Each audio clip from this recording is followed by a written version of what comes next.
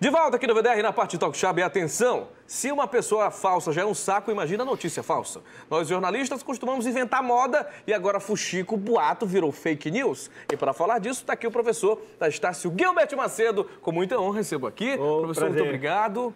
Eu Peço perdão pelas atrocidades que, que o senhor, como comunicólogo, já viu nesse programa. Não, pelo amor de Deus, Mas você isso, pode falar para os seus alunos que aqui é um anti-exemplo de comunicação Não, de jornalística. jeito nenhum, bem descontraído. Mas é mesmo? O fuxico virou fake news? Virou fake news, virou fake news.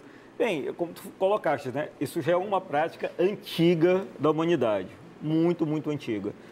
E que ganha uma proporção gigantesca hoje por causa das redes sociais, né? Você tem um lastro maior, você fala com muito mais pessoas hoje do que você falava antigamente.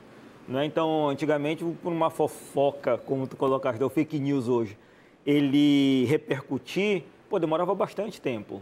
Né? Eram grupos e tudo, para Mas também para admitir era mais difícil, né? Oi? Mas para admitir também, também era mais difícil, né? Mais difícil mentir? Desmentir a história Ah, desmentir, espalhada, sim, né? sim, sim, sim, sim, sim, com certeza. Pô, teve até aquela parada lá do Mário Gomes, da cenoura e tal, que é o fake news, acho que mais Caramba, é. clássico da década É, tem esse e tem o do, do Tony Ramos com AIDS. Eu não sei se tu lembras desse também.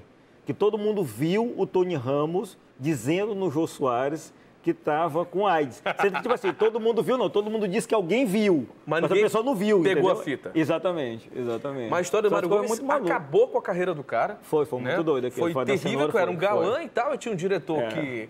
Que não queria alguma gostava coisa dele. com ele Exatamente, e tal. E aí exatamente. falou que ele tava com uma cenoura enfiada, né? Exatamente, numa parte que o sol não bate. E foi pro hospital. pra galera tirar.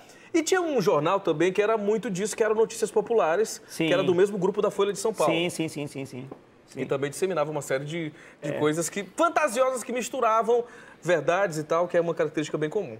Na internet tem, tem, tem, uma- tem uns cases bem legais. Tem um case que, de um site que eu não sei se ainda, se ainda existe hoje, chamado Cocada Boa.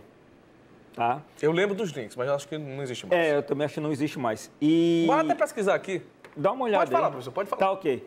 E aí o que acontece? O cara fez um- um- uma entrevista totalmente falsa na época do, do, do desarmamento, né? Uhum. Se ia votar contra, ia votar a favor.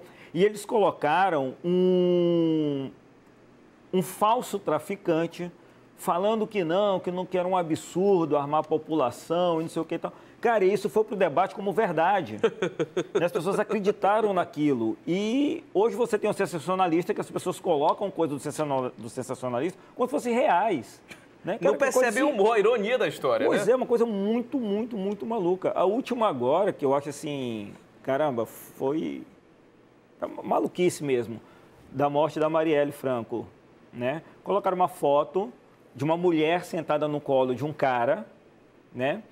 E espalhou a, a- a notícia de que era ela, a Marielle, sentada no colo de um traficante. Né, de um traficante famoso que eu não lembro agora qual que é, se é o VP, se É é, do o Marcinho, foi do Marcinho Marcinho VP. VP mesmo, né? Não era nem o Marcinho VP e nem era a Marielle. Sendo que as pessoas divulgaram aquilo como verdade. Né? E como tu falaste, é, tu falaste que na época era mais difícil desmentir. Eu não sei se hoje é mais fácil desmentir, sabe, Danilo? Eu não sei mesmo. Eu não tenho, assim, essa, essa noção do quanto, depois da coisa feita, né, o quanto é possível desmentir aquilo, aquela, essa história.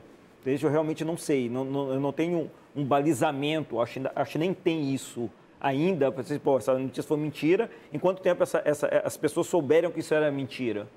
Entendeu? As pessoas continuam acreditando nessa foto, por exemplo. É, Entendeu? Essa é a questão das, das verdades convenientes. É aquilo que Exatamente, o algoritmo faz você pegar na É, timeline é. aquilo que você concorda É. e aparece uma prova para, enfim, atestar o seu argumento. Aí o Exatamente, cara não tá nem exatamente. se É, importando com nada. verdade. Mas sabe outro fake news que eu lembrei? Ah. Aquele do Gugu com o pessoal do PCC.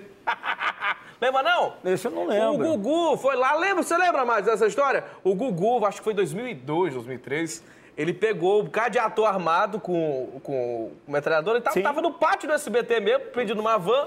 Aí os caras ameaçaram o Padre Marcelo, da Atena e tal. E eram E pessoa- atores, pessoa eram atores que que estavam com verdade. armas, né? é, que não estavam raspadas e tal. Foi, o- acho que o fake news mais ridículo da televisão foi esse. O Ministério Público até tirou Sim, o programa dele na sim. época do ar e tal. Foi um rolo muito louco. É um case. É. O Gugu, caso PCC, ele com bom moço hoje, dando casa, fazendo Pois as paradas, é, né? Botou um é. bocado de nego armado lá, ameaçando. Ó, só para te ter ideia, agora mesmo, o que, que a gente está, o que, que a gente tá, o que está acontecendo agora lá na, na, na Estácio? A gente fez, olha que loucura, como é que a gente vai reverter isso, né? A gente colocou uma, uma promoção de 70% somente para alunos da escola pública. Ó, Só para a escola pública. Sim. Pô, estão dizendo que a gente está dando 70% para todo mundo. Olha que loucura isso. Mas Como é que a gente vai dizer? news, aí, aí, aí é, é- é- vai que cola, entendeu? é outro nome de- da parada. A gente já volta aqui no VDR, Gilbert Macedo falando aí, enfim, do contexto comunicacional atual.